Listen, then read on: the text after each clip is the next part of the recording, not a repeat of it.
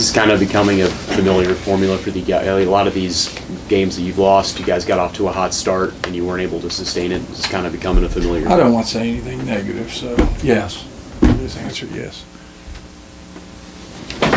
I, could- I, I could tell you why, but I'm not gonna tell you why.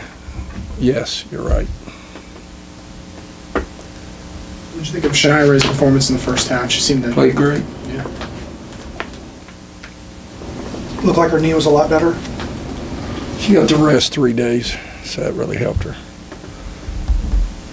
So we go, we go to Baylor, leave tomorrow, play Monday. Have you ever had a team that's lost more conference games at home than they've won? No, How do you explain three and six at home?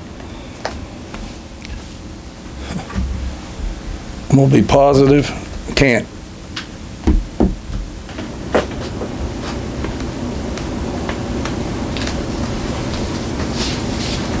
Coach, what do you think of the way Teana played in the fourth quarter, try to battle the team back into it? Has a lot of heart, plays hard, a lot of heart.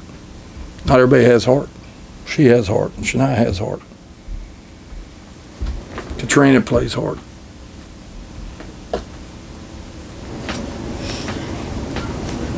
Like Clayton in the first half, Jensen gets her second foul, but they go on a run. You really weren't able to take advantage of that. How big was that stretch late in the half?